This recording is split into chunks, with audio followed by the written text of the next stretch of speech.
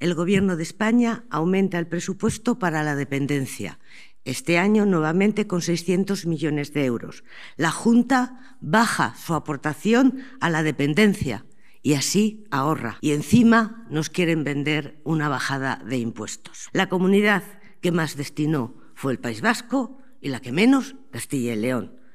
Pero vamos a hablar de listas de espera.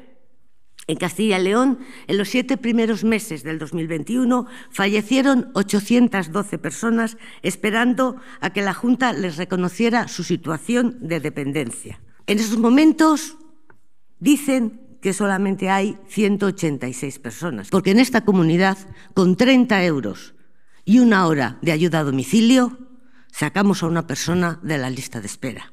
Mientras nosotros pensamos en ayudar a las familias, a las personas, la Junta de Castilla y León lo que estaba es pensando en ayudar a sanear sus cuentas.